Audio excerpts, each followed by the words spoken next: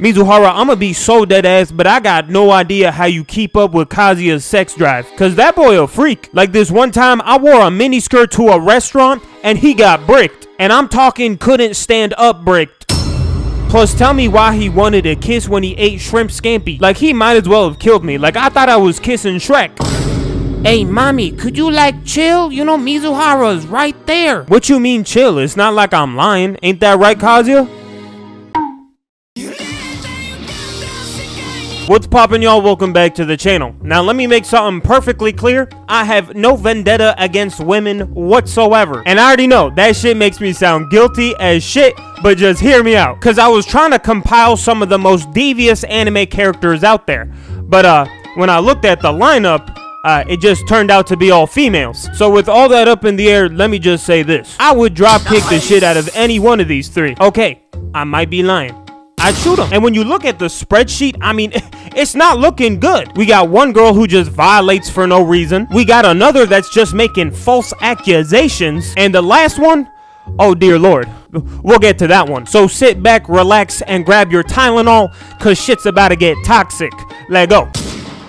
Now, the first girl on my list is Mami-chan from the anime Rent a Girlfriend. And most of us already know why she's on my list because, let's be honest, this is one trifling ass bitch. But for those of you who do not, I'll give you a little backstory. So the anime starts out with one of the biggest fumbles I've ever seen. Kazuya's bragging about how he has a girlfriend, and then Mami-chan immediately dumps his ass. And that's completely fine. Like, they're in their freshman year of college, you know, some people like to just get around, like, shit happens. But that pretty much caused Kazuya to go into a state of depression, and then, I mean, shit just went downhill from there. Because this man really started paying $361.19 for a booty. And don't get me wrong, I'm sure Mizuhara is cool as shit, but...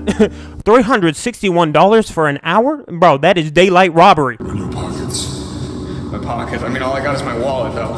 Yeah, give me that. You okay? Uh, So then we see Kazuya finishing up a date with Mizuhara, but one of his boys notice him, and he's pretty much telling him, hey, you should pull up to this dinner, you won't regret it. So of course Kazuya's dumbass goes, I bet. Bro, I kid you not, the moment he got to the restaurant, he only had regrets. Like, Kibe low-key set his ass up. I know he didn't know, but the coincidence is crazy. So now there's this weird atmosphere going on because Kazuya's old shotty and new shotty are in the same room. And Mami decides to break the tension by saying, it's okay, I've already moved on. That shit instantly had Kazuya tweaking. He's like, oh nah, how is that possible? It's been like two days. So that pretty much puts him in a bad mood and he decides to hit the bathroom. And this, this is when shit gets trifling. Cause he comes back to Mami talking to Mizuhara and she's talking crazy. I kid you not, with an outdoor voice, she starts saying, once we kissed, he wanted it every day, even if lunch had been packed with garlic. And then he tried to hold my hand all the time and take me to pubs that stayed open late for dinner. It was almost impressive just how horny he was. Bro, like, could you imagine your ex was saying this shit in front of your entire friend group? Like, oh no, this bitch is trifling, trifling. Oh, so that story about him being bricked at the restaurant? I didn't make that shit up. She really said that. Like, on God, I'd rather you pop my tires. At least then I can get a restraining order. But calling me a horn dog in front of everybody? That's...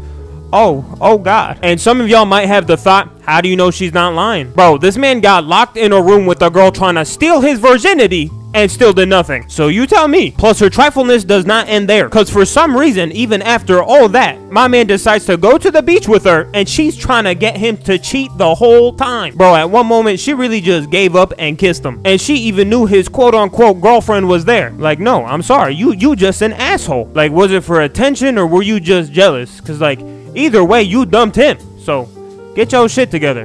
That was Mami.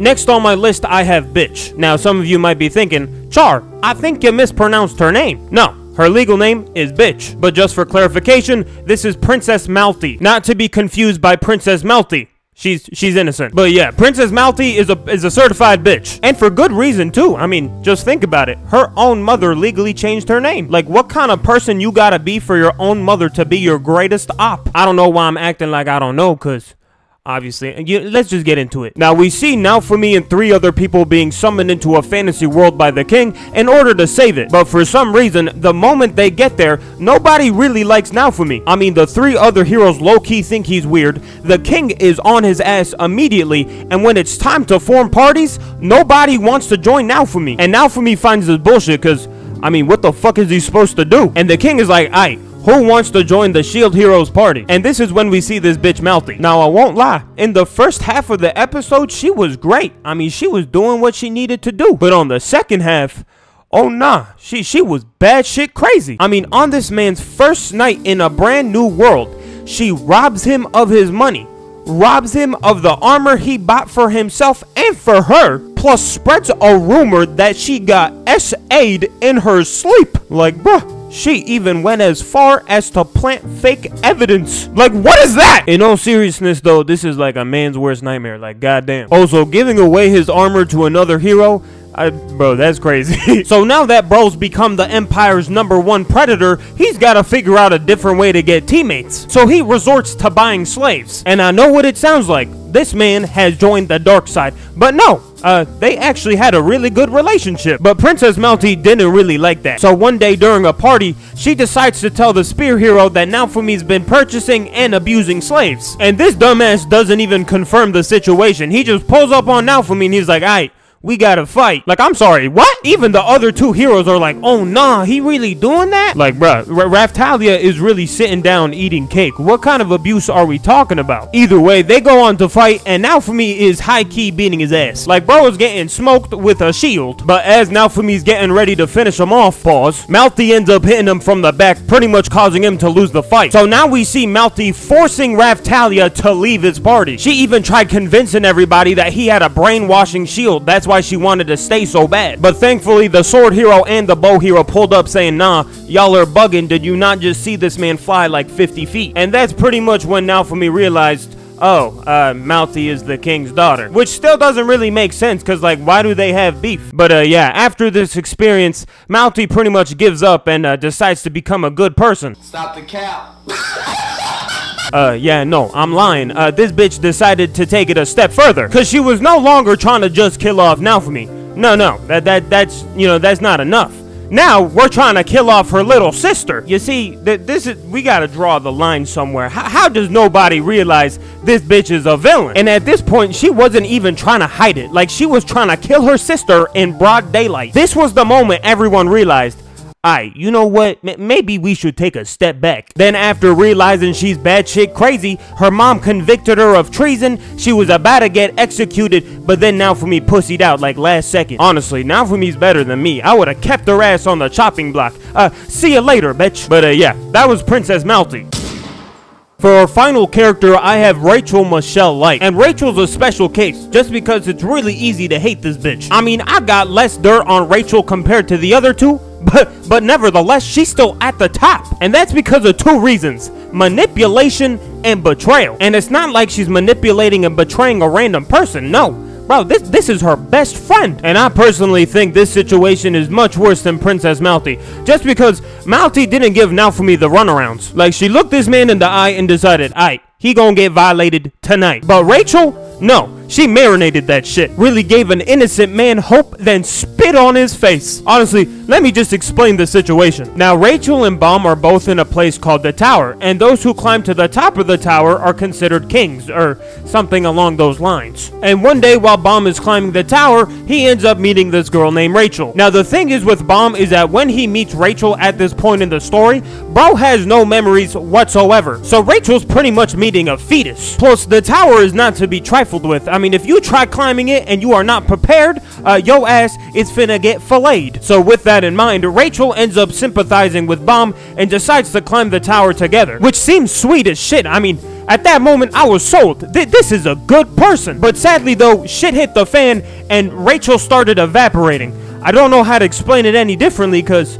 I mean, look at her. She She's evaporating. So after watching her go through photosynthesis, Bam decides, alright, I'm gonna climb the tower and I'm gonna find her. But like I said before, it's not really that simple, cause he had to go through a lot of bullshit just to find her. And I'm talking life or death bullshit. Like the first thing he had to do was fight a dragon. I don't know who made up the rules, but that shit don't seem fair. Then after barely surviving that, he automatically gets entered to play in a battle royale. Like there wasn't a break or consent. They just they just shot his ass in there. Good luck, have fun. Then after barely surviving that as well, all the people that tried killing him turned into his teammates, which somehow worked out. I mean, Apparently, killing each other is a really good team building exercise. So, a few more team building exercises later, and Bam finally found Rachel. But instead of it being a happy reunion, um, we realized Rachel is fake as shit. Cause Rachel started talking crazy to her teammates saying, it's alright if you kill Bam. Now hold on, bitch. Wait just a damn second. What you mean it's okay to kill Bam? I thought y'all were gonna climb the tower together. Like what what caused the switch up? But the reason was actually really simple. Rachel found Bam as a liability. And she felt like if she wanted to get to the top of the tower,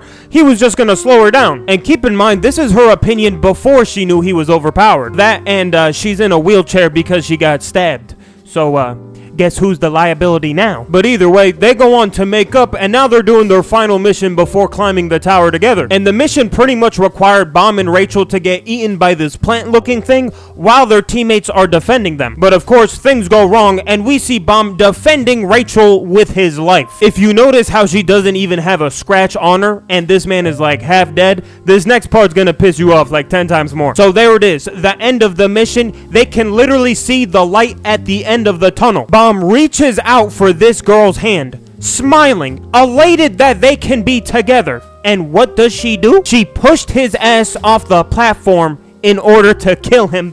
Bitch, you got me fucked up. He just carried your ass through the whole mission, and you tried to kill him? Bruh, and, and y'all wanna know what the reason is for her getting to the top of the tower?